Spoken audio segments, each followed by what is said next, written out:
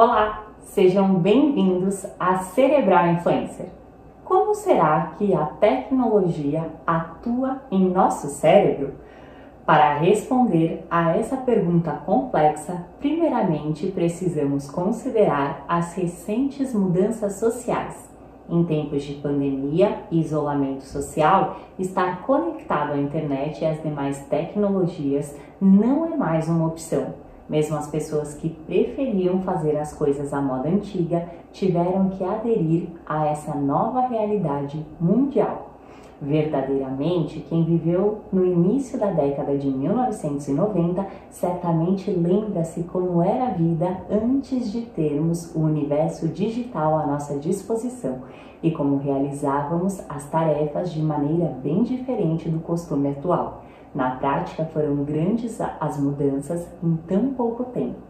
Mas, de fato, quais são as implicações disso para o nosso cérebro e quais são os reais impactos tecnológicos nesse novo contexto? A tecnologia, sem dúvida, modifica a expressão criativa do homem, transformando a nossa forma de adquirir conhecimento e, consequentemente, interferindo em nossa cognição que é responsável pela aquisição de conhecimento e pelos processos de aprendizagem. Sob o ponto de vista cerebral, uma das principais características dos dispositivos eletrônicos, como celulares e tablets, é o fornecimento ao acesso de um número praticamente ilimitado de notificações, dividindo a nossa atenção se existe algo que os smartphones, computadores e aplicativos têm em comum e que fazem muito bem na prática, são os seus estímulos que literalmente sequestram a nossa atenção. Isso porque em nosso cérebro o tempo todo estão atuando inúmeros neurotransmissores e os seus respectivos sistemas de recompensa. Assim sendo, quando recebemos uma notificação no celular, por exemplo, a nossa retina utiliza com grande eficiência as suas células para identificar esse movimento, fazendo-nos olhar. Caso seja algo do nosso interesse, recebemos na hora uma injeção rápida de neurotransmissores, como a dopamina e a serotonina, que são responsáveis pela nossa sensação de bem-estar. Desta forma, atos rotineiros como comer, descansar, desfrutar de uma conversa com os amigos em um café, esperar por um like na foto que acabamos de postar em nossas redes sociais, saborear uma sobremesa bem recheada de chocolate, sair mais cedo do trabalho para fazer compras ou ir ao cinema Todos esses comportamentos tão elementares que nos acompanham em cada um dos nossos dias são regidos, em última instância, por esse intrincado sistema de recompensas em nosso cérebro. A finalidade desse circuito cerebral é, sobretudo, conseguir que estejamos motivados a desempenhar comportamentos específicos que ele julga mais adequado, sobretudo para o nosso bem-estar e sobrevivência. Quando vemos um estímulo que se encaixa perfeitamente em nossos gostos e necessidades do momento, o nosso cérebro responde liberando o neurotransmissor do prazer, a dopamina, que de fato pode ser, digamos que, bem viciante. Um estudo recente feito por pesquisadores da Universidade de Heidelberg, na Alemanha, comprovou que o uso compulsivo do celular pode ocasionar na diminuição da massa cinzenta do cérebro, a mesma consequência provocada também pelo abuso de cocaína. Outros estudos, entretanto, apontam ainda que o nosso cérebro pode ter modificado a sua maneira de controlar a mão em decorrência do uso constante de smartphones. Esta característica foi detectada principalmente na população mais jovem, em que a área do cérebro que controla os polegares expandiu-se significativamente como resposta a essa nova maneira de usar os dedos.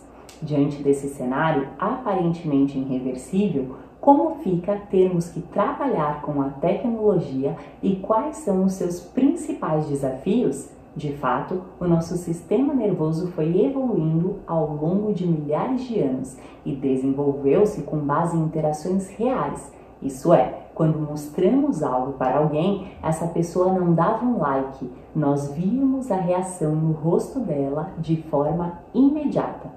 Além disso, os recursos tecnológicos atuais trazem consigo novas formas de ler, de escrever e, portanto, de pensar e agir. O simples uso de um editor de textos, por exemplo, mostra como alguém pode registrar o seu pensamento de forma distinta do texto manuscrito e do mesmo digitado, provocando em nós uma forma totalmente diferente de ler e de interpretar o que escrevemos. Antes da aparição das tecnologias, sobretudo, usávamos muito mais a nossa memória. Ainda que tivéssemos a possibilidade de escrever, não tínhamos acesso a informações com a facilidade atual. Dessa maneira, era bem mais comum a memorização de rotas, números telefônicos, datas e eventos. Todavia, como em absolutamente tudo na vida, a tecnologia também possui pontos positivos e negativos. Assim sendo, como vantagens podemos destacar a facilidade no acesso de informações, o favorecimento de novas formas de pensar e agir e principalmente os ganhos em agilidade e performance. Em contrapartida, como possíveis desvantagens, temos por outro lado o declínio na utilização da memória, o sequestro atencional e o aumento acelerado dos casos de dependência tecnológica. Este último recentemente incluído no apêndice DSM-5 pela Associação Psicológica Americana como dependência em jogos e internet o que aumenta a legitimidade clínica desse transtorno e favorece o entendimento científico da natureza dessa dependência. Com base no Manual Diagnóstico Estatístico de Transtornos Mentais, foram definidos oito critérios para diagnosticar a dependência da internet, descritos como 1. Um, preocupação excessiva com a internet. 2. Necessidade de aumentar o tempo conectado. 3. Presença de irritabilidade e ou depressão. 4. Exibição de esforços repetidos para tentar diminuir o tempo de uso da rede. 5. Perda do controle emocional com a redução do uso de internet. 6. Permanecer mais tempo conectado do que o planejado. 7 colocar o trabalho e as relações sociais em risco pelo uso excessivo da tecnologia. 8. Mentir para os outros a respeito de quantidade de horas online. Contudo, neste contexto, torna-se importante destacar que a tecnologia não é o problema em si, mas sim o uso que fazemos dela. Podemos identificar que o abuso no uso da tecnologia está fazendo mal, sobretudo quando a nossa funcionalidade é prejudicada, ou seja, quando percebemos que as outras áreas da nossa vida estão sendo deixadas para segundo plano, por exemplo, usando indevidamente o computador do trabalho para jogar, assistir vídeos ou filmes e ouvir músicas. Além, é claro, quando notamos que o uso excessivo da tecnologia acarreta no atraso dos nossos compromissos. Embora o vício em tecnologia seja um termo muito vasto, explicarei a seguir os vícios mais comuns. Vício em videogame. O vício nos consoles de jogos já é atualmente considerado pela Organização Mundial de Saúde como sendo um distúrbio de saúde mental. É reconhecido como um vício não tóxico que faz parte dos vícios de comportamento, sobre os quais se estabelece um comportamento que não se pode mais controlar. Nesse vício, a pessoa cria uma espécie de dependência muito intensa no videogame, em que perde a noção do tempo e o controle sobre a duração e a frequência com que joga. Assim, quando não pode jogar, eclodem sentimentos de ansiedade, estresse e alterações no comportamento alimentar e no sono.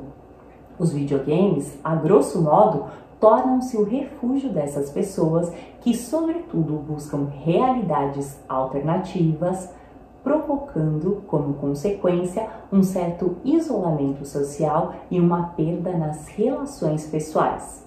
Vício e internet. Quando falamos de vício em compras na internet, vício em interação na internet ou em jogos online, falamos de vícios independentes que utilizam como meio a internet para poder se obter o elemento aditivo com mais rapidez e de forma anônima. No entanto, existem indivíduos que adquirem uma dependência mais ampla ao conceito de internet, graças ao número inesgotável de formas de se comunicar e pelas incontáveis possibilidades que a rede mundial de computadores oferece. A internet, de fato, é um instrumento de interação, de trabalho, de informação e de lazer. Contudo, muitos acabam trocando a sua verdadeira realidade pela virtual. Desse modo, como consequência, estabelece-se um padrão comportamental abusivo do uso da rede, abandonando outras atividades de preferência e negligenciando as obrigações e as responsabilidades a grande diversidade que a internet oferece, como por exemplo, poder ouvir música, ver vídeos, pesquisar informações, visitar redes sociais, descarregar filmes, justamente é o que gera a sua dependência, uma vez que pode praticamente satisfazer qualquer necessidade que possivelmente alguém tenha. Vício em redes sociais. Atualmente, as redes sociais mudaram a forma de comunicação entre as pessoas, muito embora cada um utilize estes canais com diferentes finalidades, como falar com os amigos, conhecer gente nova, espalhar notícias ou até mesmo promover um trabalho. No entanto, cada vez mais as redes sociais são utilizadas de forma indevida para criar identidades falsas, mostrar ou ocultar o que consideramos que será bem visto pelos outros, ou inclusive buscar por uma aprovação constante. Com o tempo, a necessidade da validação dos outros pode acarretar em graves problemas de autoestima, uma vez que nos tornamos dependentes das opiniões alheias. Por isso, o vício em redes sociais está muitas vezes relacionado com a menos-valia ou a baixa autoestima, a qual se tenta mascarar possivelmente com mudanças na própria identidade que é exibida nas redes.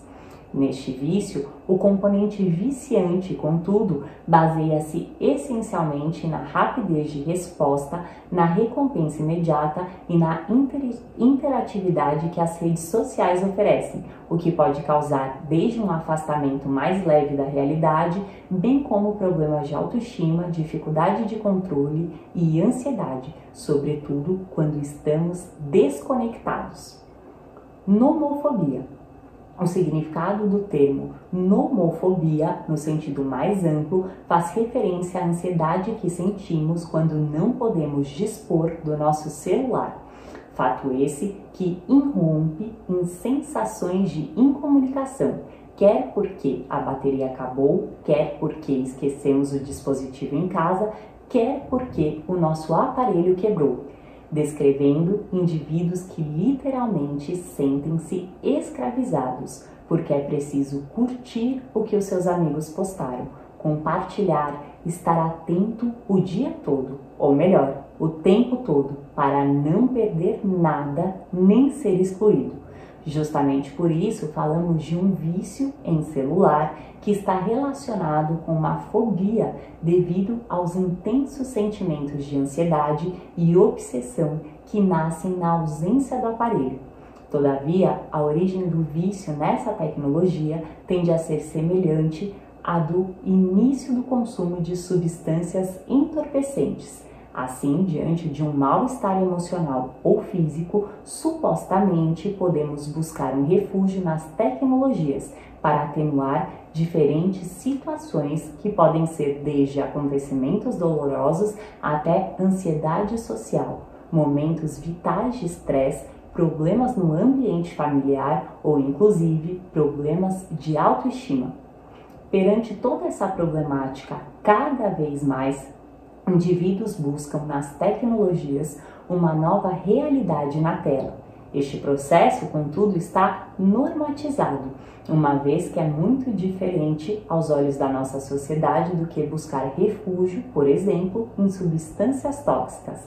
Além disso, soma-se ainda o acesso irrestrito à falta de limites e à gratificação de recompensas imediatas, como as curtidas nas redes sociais, o que conduz para o desenvolvimento do comportamento viciante.